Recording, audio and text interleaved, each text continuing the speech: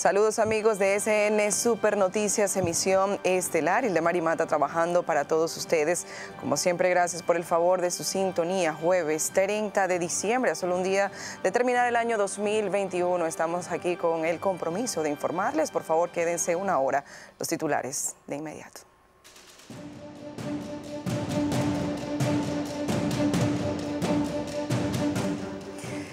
Inicia segunda etapa de operativo Conciencia por la Vida. Se enfocará en provincias con mayores incidentes ocurridos en Navidad.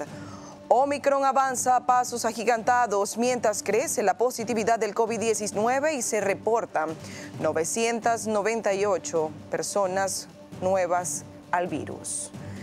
Exministro de Turismo, ingeniero Fran Jorge Elías, llama a las autoridades a exigir pruebas de COVID-19 a viajeros que llegan al país. Comunidad cristiana aboga por la celebración Batalla de la Fe, dicen centros de diversión y teteos continúan. Dan último adiós al padre Luis Rosario. Y en la víspera de Año Nuevo, mínimo el éxodo hacia el interior, mientras otros preparan baños y brebajes para la suerte.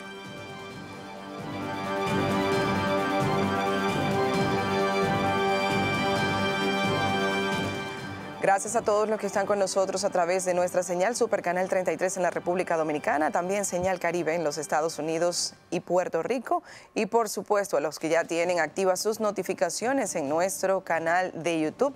Puede seguirnos a través de Super Canal 33. Damos inicio a esta emisión y es que el COE que desplegará más de 40 mil personas en los lugares más críticos del país, esto con el fin de prevenir accidentes de tránsito e intoxicaciones durante las fiestas de fin de año. Esther Sánchez nos tiene los detalles. El director del Centro de Operaciones de Emergencias, general retirado Juan Manuel Méndez, reveló que las acciones serán reforzadas en esas demarcaciones que presentaron mayor número de incidentes durante la primera fase del plan Conciencia por la Vida. Al igual que para la primera etapa, en esta segunda la población tendrá a su disposición 1.237 puestos de asistencias ubicados en lugares críticos, 195 ambulancias, 3 helicópteros, 16 equipos de extracción vehicular, 73 unidades de rescate vehicular, 2 centros de atención prehospitalario y 19 talleres móviles. Además, sostendremos una estricta vigilancia en el cumplimiento de los protocolos establecidos por el Gabinete y el Ministerio de Salud para evitar el incremento de contagio por el COVID-19. Durante la ejecución del operativo, la población tendrá el apoyo de los organismos de protección civil en su desplazamiento por las principales carreteras, autopistas del país. Asimismo, reactivamos los centros de mando y control regionales y comités provinciales en tanto que el vocero de la Dirección de la Policía Nacional, coronel Diego Pesqueira, reveló que todos los agentes de esa institución estarán en la calle supervisando que los negocios de expendios o de bebidas alcohólicas estén cumpliendo con las disposiciones de salud pública. Estamos coordinando con las demás instituciones que pertenecen al sector salud o que dan apoyo al mismo a través de la mesa de salud del COE para garantizar que tanto los establecimientos de salud estén preparados por parte del Servicio Nacional de Salud a las ambulancias también estén preparadas, así como también cualquier apoyo que sea necesario para eh, garantizar la salud de la población. Las unidades patrulleras de 243 unidades que dispone el programa de protección y asistencia vial han sido aumentadas a 308 unidades. Ya que por disposición de nuestro señor director, el mayor general Eduardo Alberto Ten, todo el personal disponible de la institución estará integrado en este gran operativo. Es la primera vez que nadie se quedará en su casa. Todo el personal disponible estará al servicio para brindar la seguridad de todo el pueblo dominicano y para evitar que en estos establecimientos, principalmente de expendio de bebidas alcohólicas, se estén violando los protocolos establecidos ya anunciados por las autoridades del sector salud. Este operativo Conciencia por la Vida culminará específicamente el próximo sábado a las 6 de la tarde y el primer boletín será ofrecido este viernes a las 11. Esther Sánchez les informó. Cambiamos de tema y es que el Ministerio de Salud Pública comunicó este jueves a través del boletín 651 que en las últimas 24 horas se procesaron 5.707 muestras de SARS-CoV-2, de las que 998 resultaron positivas y cero defunciones en este periodo. El país acumula un total de 4.246 personas muertas por la enfermedad desde que inició la pandemia, con una letalidad de 1.02% y la mortalidad por millón de habitantes se sitúa en 406.37 y con una positividad diaria de 36.24% y las de las últimas cuatro semanas en 5.62%. Seguimos con el tema. La víspera de fin de año no impidió la presencia de ciudadanos en el Centro Olímpico Juan Pablo Duarte, quienes buscaban protegerse contra la enfermedad del COVID-19 y las variantes que circulan en el país. Nuestra compañera Esther Sánchez nos preparó la siguiente historia. Veamos.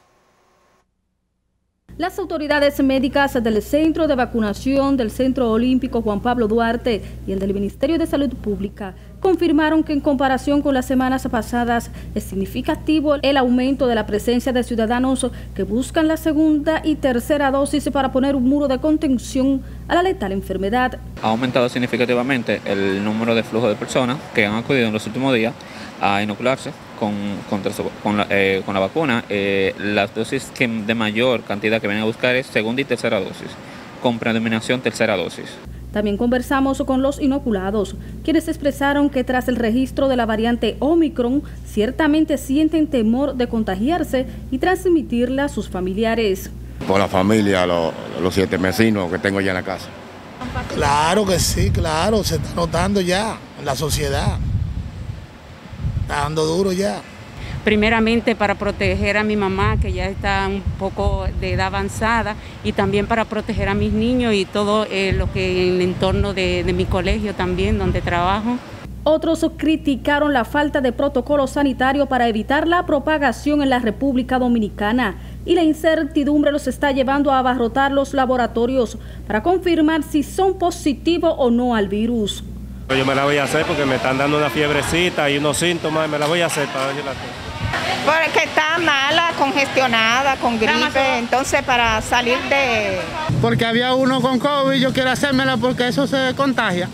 O hubo alguien con COVID, entonces estaba muy cercano a ella y vengo aquí a hacerme la prueba por si acaso para descartar ese, ese proceso de hecho en tanto que las autoridades sanitarias solo hasta el momento han establecido administrar una cuarta dosis y los primeros en recibir el refuerzo serán los mayores de 60 años y el personal de salud. Esther Sánchez les informó.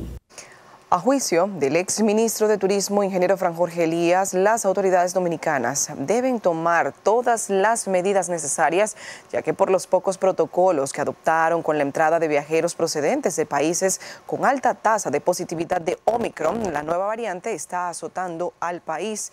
Exhortó a que las autoridades puedan medir a través de pruebas que evidencian que los viajeros que arriban al país no están contagiados, exactamente como ocurre con los ciudadanos dominicanos al salir de la nación.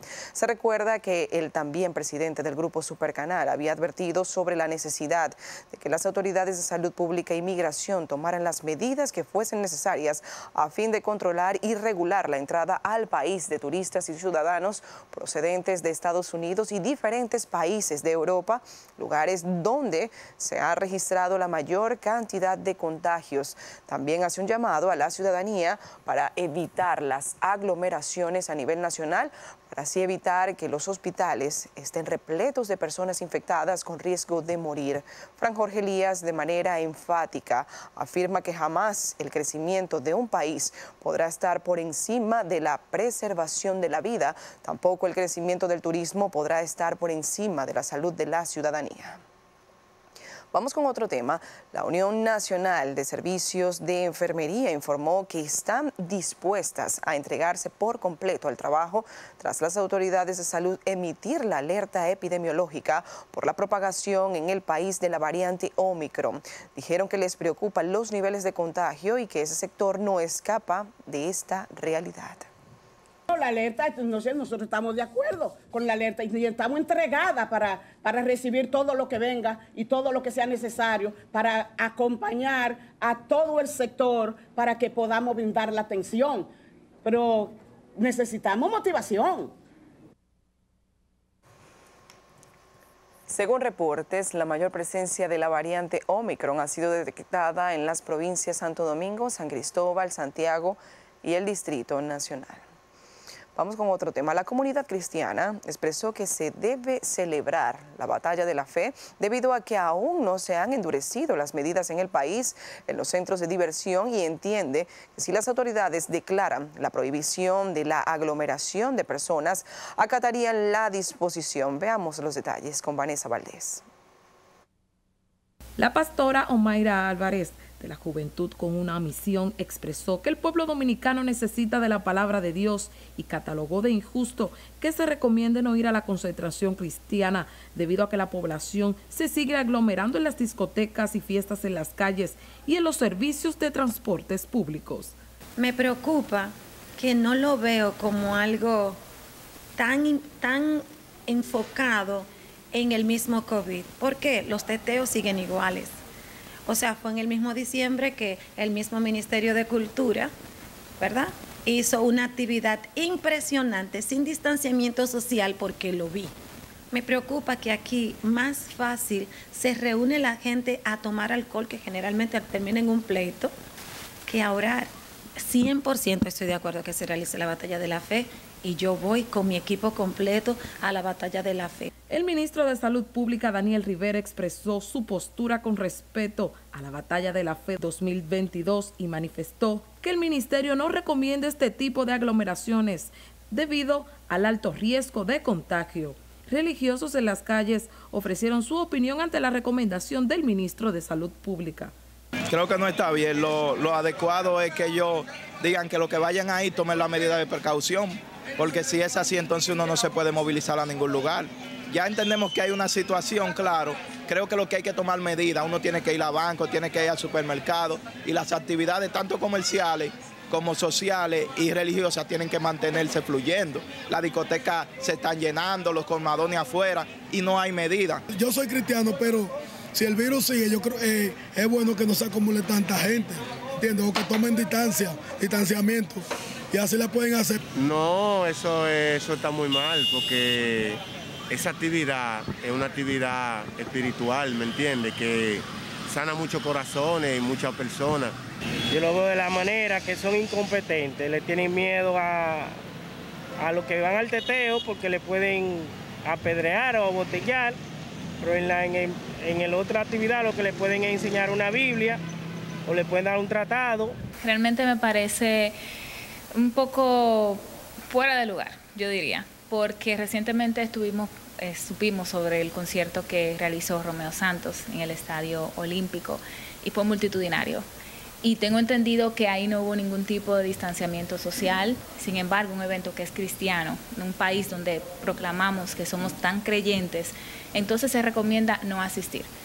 Pese al aumento de contagios del COVID-19 registrado en los últimos días por la circulación en el país, tanto de la variante Omicron como Delta, el Ministerio la Batalla de la Fe, que organiza la tradicional concentración cristiana, dijo que mantiene el llamado al evento, en el cual se estima una participación de alrededor de 40 mil personas. Vanessa Valdés les informó. Continuamos con las informaciones luego de la pausa. Por favor, quédense en sintonía.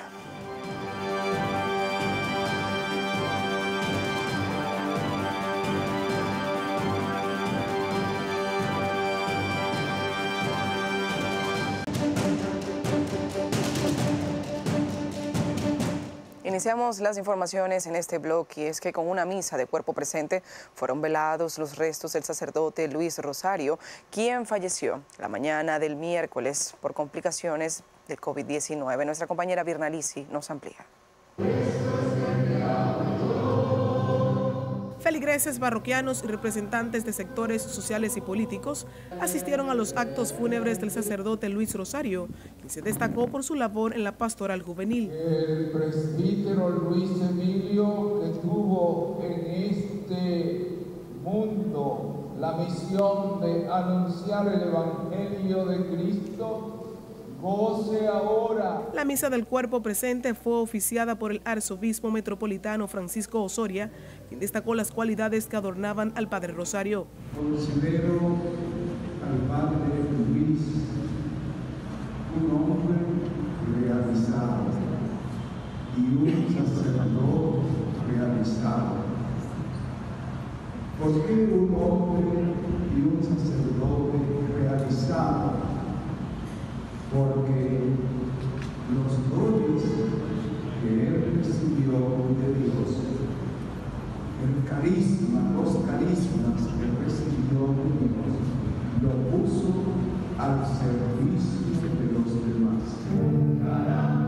Más de 25 sacerdotes salesianos acompañaron al fallecido párroco Rosario hasta su última morada, mientras el provincial de los salesianos en las Antillas, José Pastor Ramírez, pide al gobierno continuar la obra del Padre Luis, quien dedicó su servicio pastoral al cuidado de niños y jóvenes de la calle. Los salesianos estamos trabajando por años en la atención de la niñez abandonada de nuestro país, en todo el país, y necesitamos recursos económicos para sacar esos jóvenes y esas personas que están al borde del camino y que no encuentran quien le levante para que puedan enfrentar la vida, el presente y el futuro.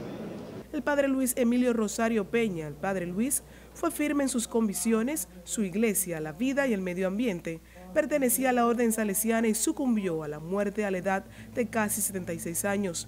Dentro de sus obras cumbre estuvo Muchachos y Muchachas con Don Bosco, un proyecto de rescate y apoyo a niños, jóvenes y adolescentes de los barrios marginados a los que no solo le daba pan, sino que también les enseñaba a pescar.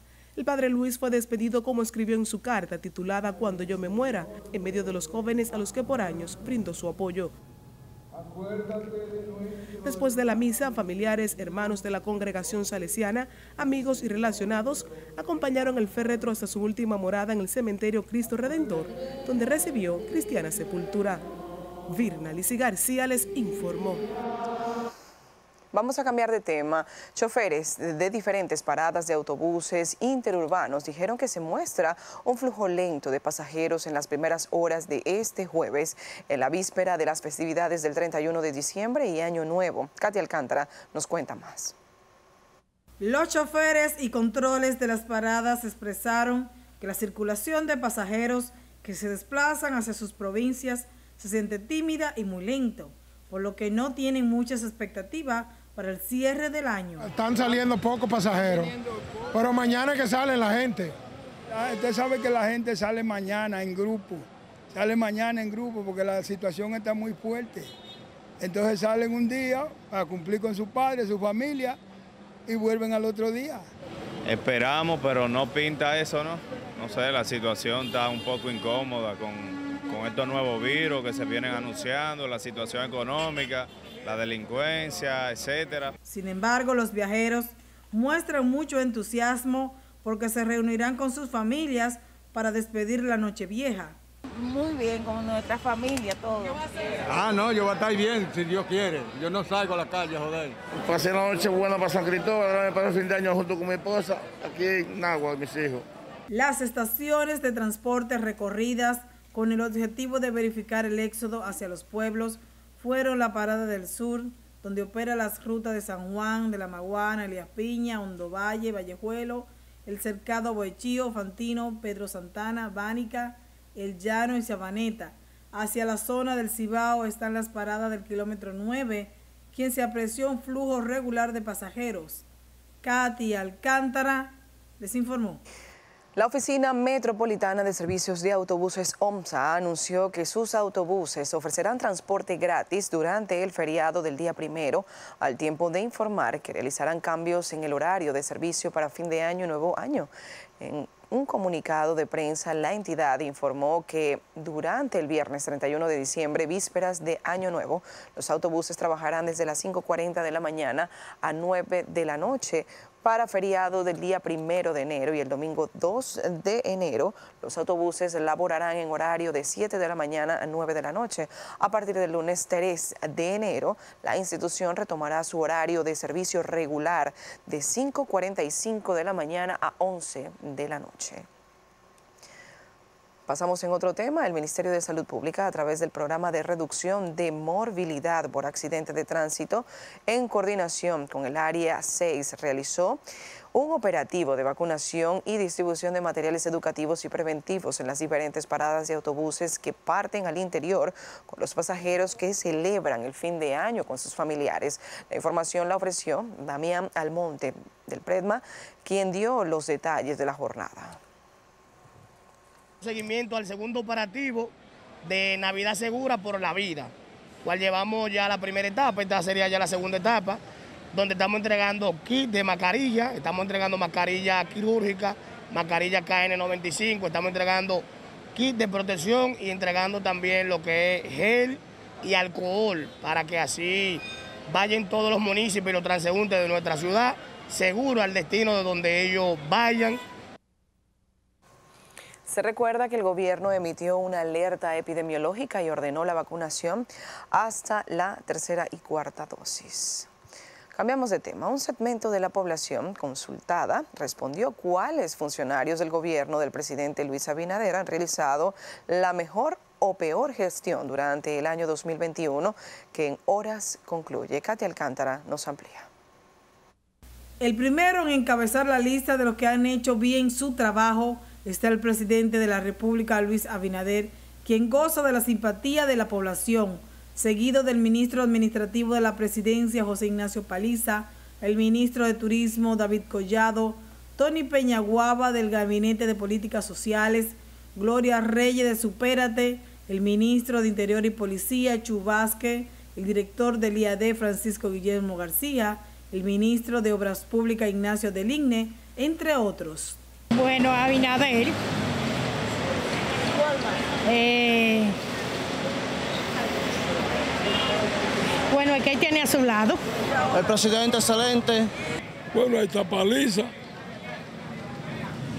Eh, está eh, este muchacho de, Interior Policía. Para mí hasta ahora ha sido Paliza. David Collado. David Collado ha sido un funcionario del gobierno. Cero, o sea, no ha cometido ninguna irregularidad hasta ahora, o sea, ha mantenido su plataforma hasta ahora. El de obra pública aunque valoraron que el gobierno destituyera a quienes hayan fallado, algunos municipios no están conformes y dicen que no simpatizan por ninguno. Para mí ninguno. Todo. Para mí porque yo trabajaba en una empresa del gobierno y me cancelaron. Para mí todos son iguales. Esperan que los funcionarios se esfuercen y trabajen por el bienestar del país. Katy Alcántara les informó. Somos SN Super Noticias, ya volvemos con más.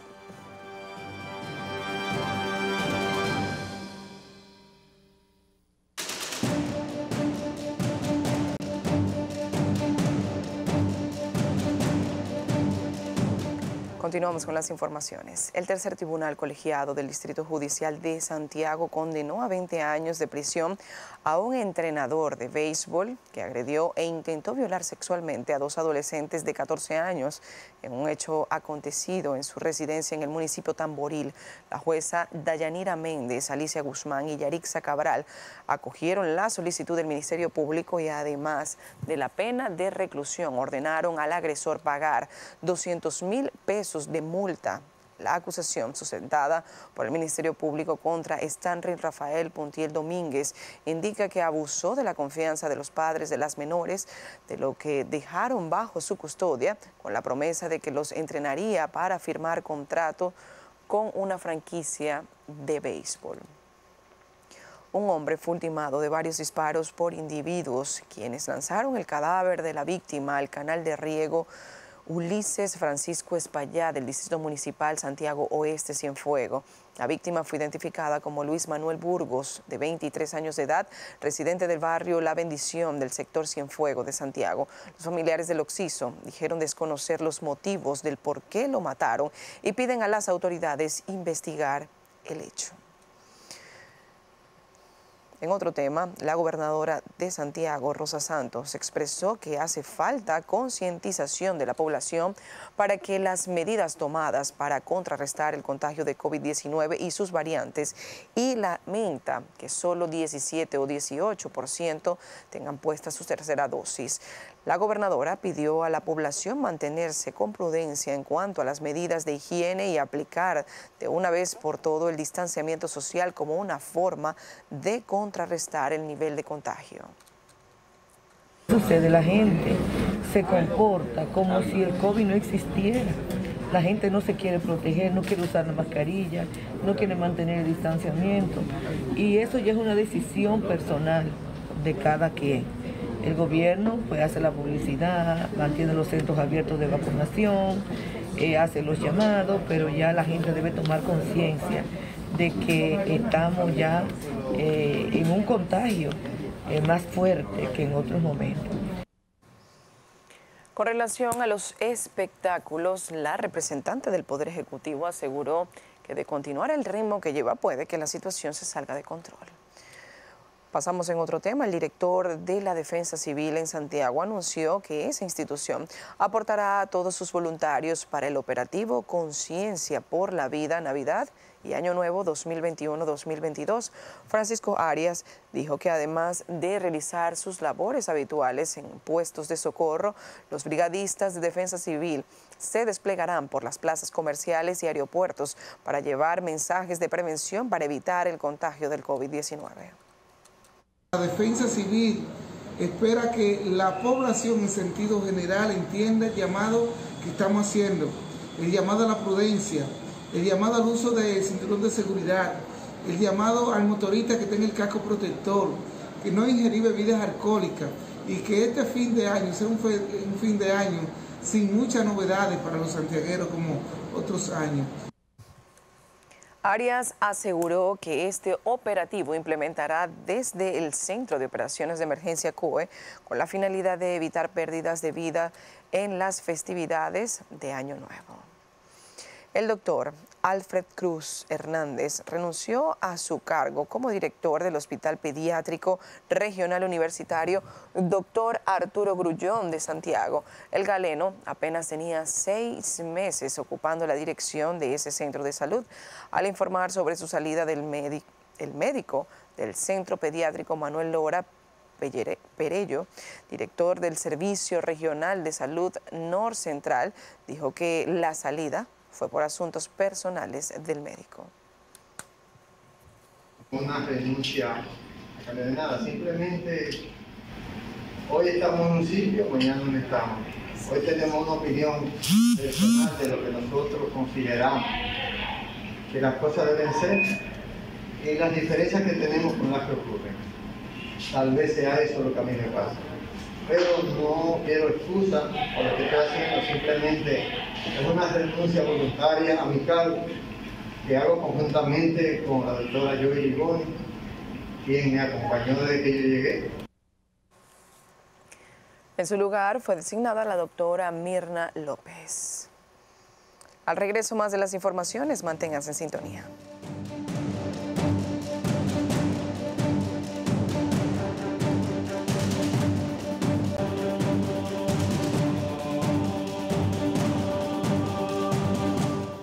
Iniciamos este bloque de informaciones. Más empleos con pagos dignos, trabajar contra la delincuencia y bajar los precios de los productos de la canasta básica familiar pide el pueblo dominicano en las calles.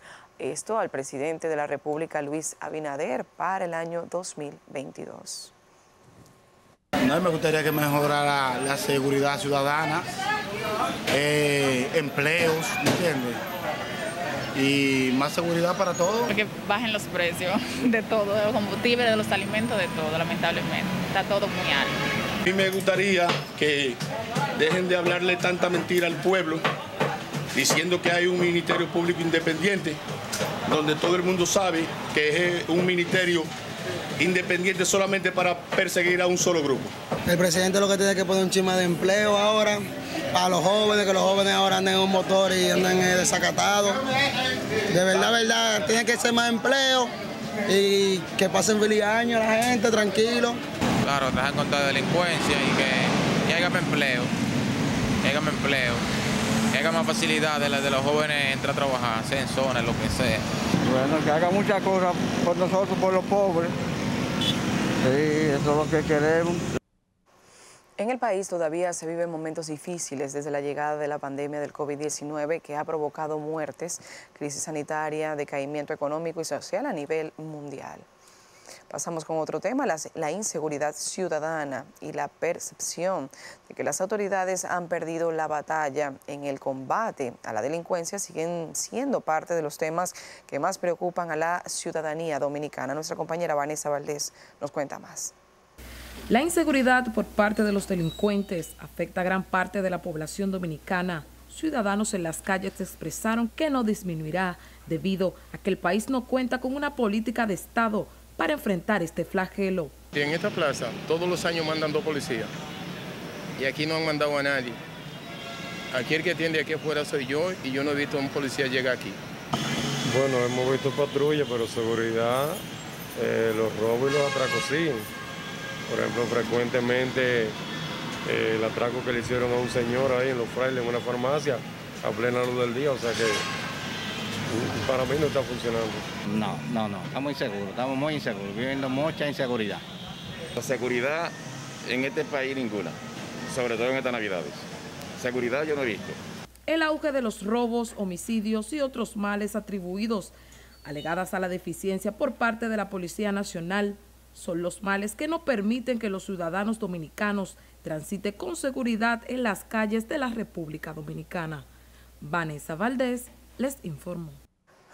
Con la intención de tener un año 2022 positivo, ciudadanos acuden a diferentes centros espirituales para comprar productos en procura de mejorar su suerte, obtener más beneficios económicos, conseguir amor y hasta mayor virilidad. Nuestra compañera Virna Lisi García trabajó la información y nos amplía.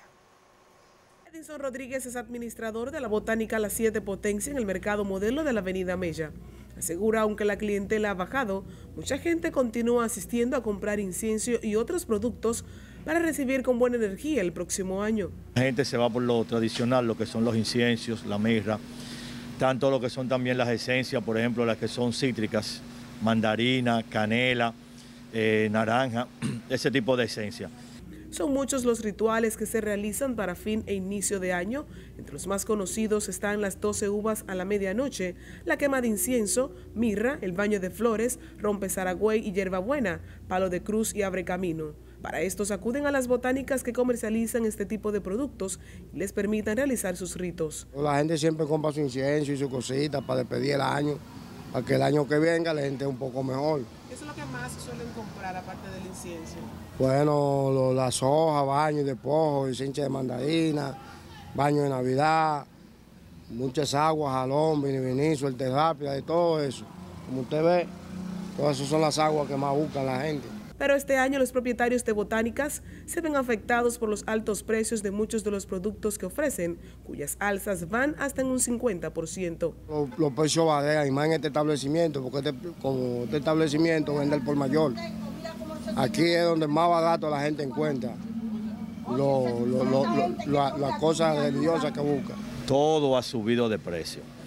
Eh, aquí tenemos productos que han subido entre 200, 300 pesos otros que han subido 25, que 50, pero lamentablemente todo ha subido de precio. Las botánicas comúnmente se ubican en los diversos mercados del distrito y la provincia de Santo Domingo, donde se recomiendan hacer los rituales antes de la medianoche. Virna Lisi García les informó. Quédense con nosotros, al regreso queda contenido.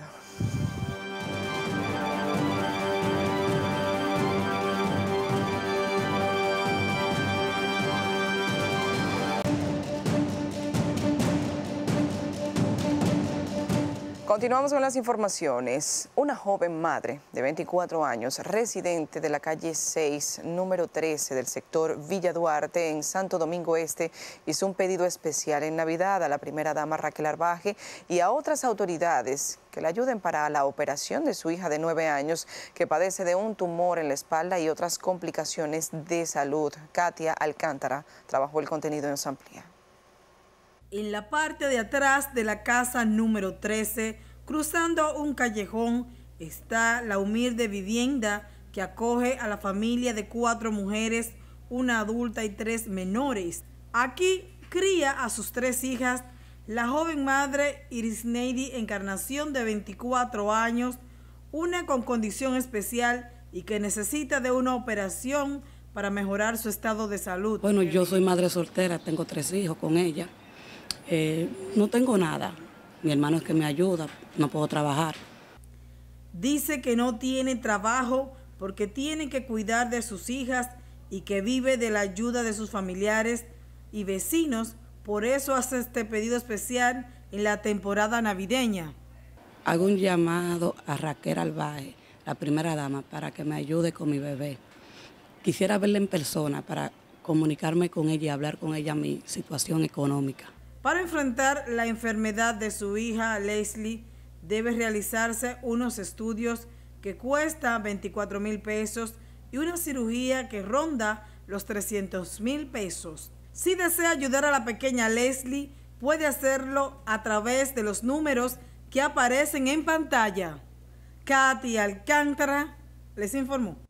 Bien, de esta manera finalizamos. De mi parte me despido hasta el próximo año 2022. Gracias por honrarnos con la oportunidad de entrar en sus hogares. Bendiciones y que sea de mucha, mucha felicidad. Hasta pronto.